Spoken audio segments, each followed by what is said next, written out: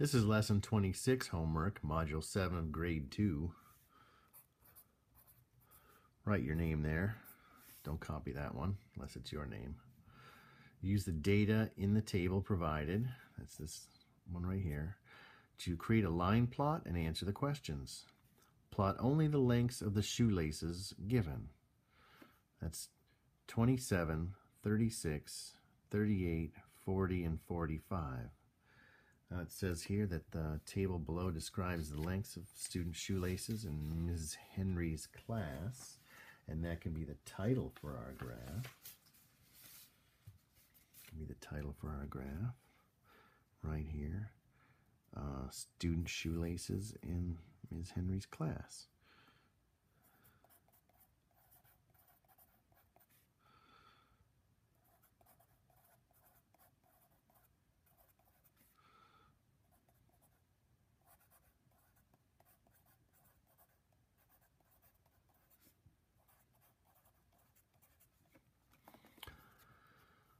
This is measured in inches.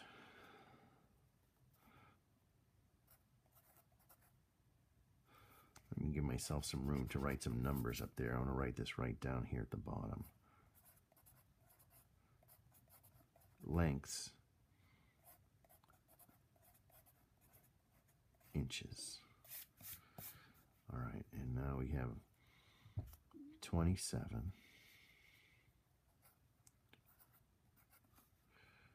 36, 38, 40, and 45. And we're plotting only the lengths of the shoelaces given. So we're not plotting the numbers in between these, just these four, uh, just these five different uh, measurements. So 27, there are six of those. One, and let's get these marks down a little bit just so they don't look like they don't take the places of X's because I want an X right here. Six of these. One, two, three, four, five, six. 36 has 10. One, two, three, four, five, six, seven, eight, nine, ten. Uh, 38 has nine, so it's going to be almost as tall. One, two, three, four, five, six, seven, eight, nine. And then 40 has only three. One, two, three. And 45 has two. One, two. How many shoelaces were measured? I could just look at, maybe I can find some easy numbers to add in here, if, I, if it's easy to add. Let's see. Nothing looks that great. I could just count all the X's. Can always do that. But let's see. I have uh, 19 here. So that's 19. And this 3 and this 2 make 5. And a 6. Oh, there's an 11. 11 and 9 is 20. And there's another 10. So this is going to add up to 30. 30 shoelaces.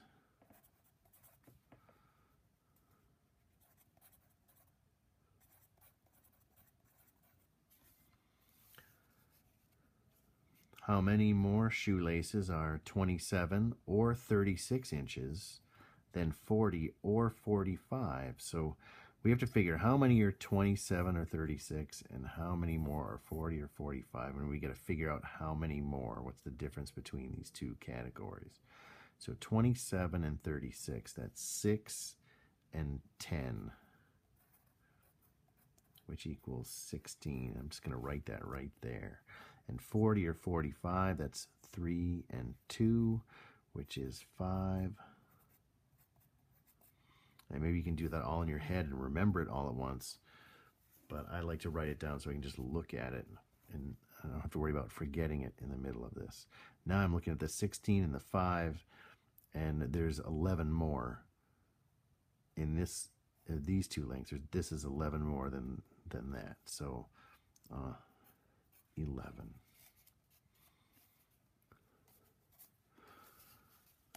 Draw a conclusion as to why zero students had a 54 inch shoelace. Well, it looks like most of the shoes are right in this length. And 40 and 45 are, it looked like those aren't very popular. So why, um, I'm thinking in 54 is a lot bigger than 45. So they're already there are they aren't that long. By the time you get to 45, there aren't many shoelaces that are that long. So if, uh, by the time I got to 54, that's nine more inches. They're probably just too long. So I'm just going to guess that 54 inch shoelaces are too long. Uh, for these data, a line plot or a table is easier to read because, so for this, I mean, we used, we looked at, sometimes we looked at the numbers, if they were easy to add for what we had to do, but to make comparisons between the data, um, I think it, the line plot is easier to read because you can see when we had to answer this question, we could just look and see how it's getting shorter already by the time you get to 45. And imagine that 54 would be over here somewhere. There can't be anybody. There's nobody with 54. So that it might this kind of tells you why by looking at it. You can see that you can really see the numbers go down. So I'm thinking the line plot is easier to read uh, because uh, because you can just look at it. You can just look at it and see which numbers have more because they're all right next to each other.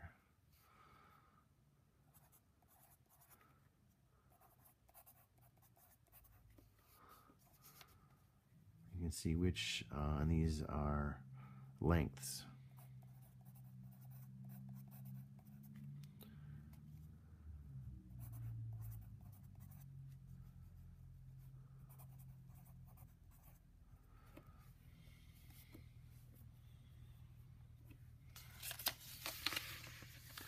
Maybe for you, you like the table better. You could say as long as you have a good reason for it.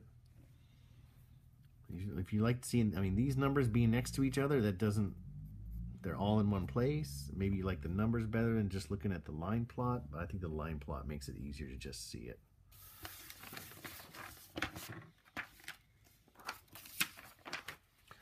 Use the data in the table provided to create a line plot and answer the questions. The table below describes the lengths of crayons in centimeters in Ms. Harrison's crayon box. So we're going to look at the length in centimeters and the number of crayons. So we have a four centimeter crayon. There's four of those. Five centimeter crayons, seven of those. Six centimeter crayon, nine of those. And seven and eight centimeter crayon is the longest. There's only one of those. So we need a, we're going to need a title. And we're going to need one, two, three, four, five spots to mark out five lengths in centimeters. But our title is going to be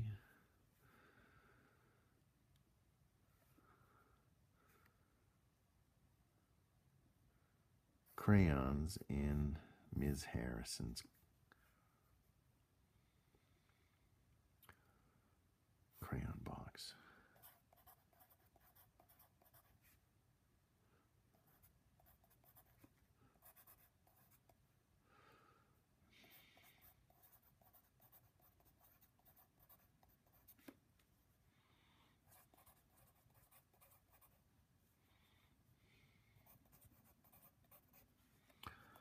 And we've got four,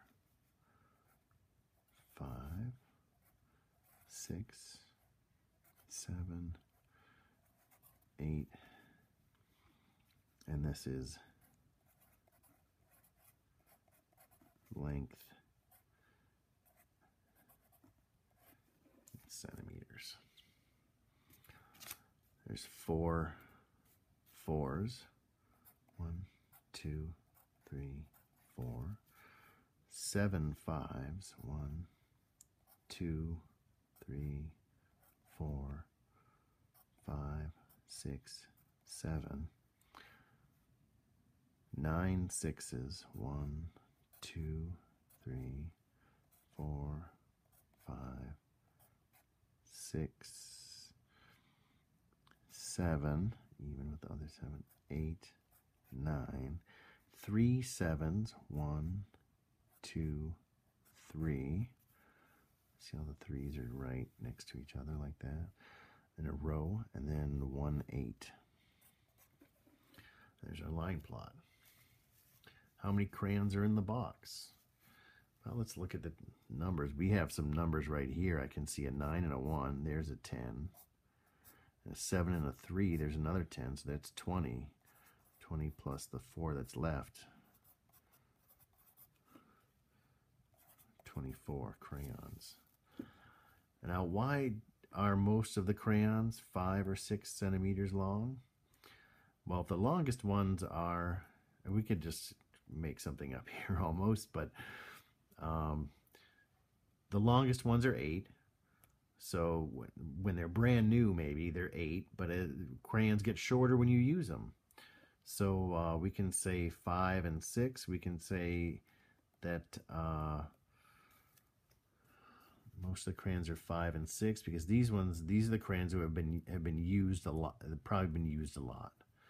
So uh, we can say this is uh, not a box of new crayons because if it was a new box of crayons they would all be the same if no one had used them they'd be all be brand new and they wouldn't have been shortened by being used so let's just say that uh,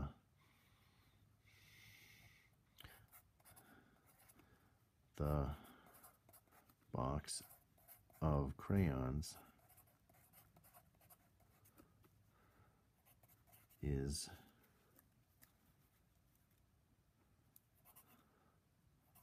not new.